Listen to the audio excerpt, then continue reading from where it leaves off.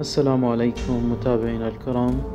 جريمة مروعة تهز محافظة كركوك اختطاف الطفل أيوب أحمد الهزاع مواليد 2014 من قبل ابن خالة. الطفل يسكن حي الخضراء في كركوك. والده الطفل والد الطفل المقدم أحمد مهدي الهزاع ضابط مكافحة إجرام بيجي في صلاح الدين.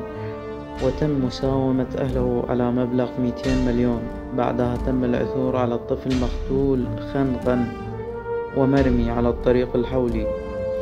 فيما ألقت القوات الأمنية متمثلة مركز شرطة التسعين والاستخبارات على منفذي الجريمة وهم شخصين أحدهم من كركوك والآخر ابن خال الطفل يسكن صلاح الدين وهو الذي قتل الطفل. لا حول ولا قوة إلا بالله العلي العظيم.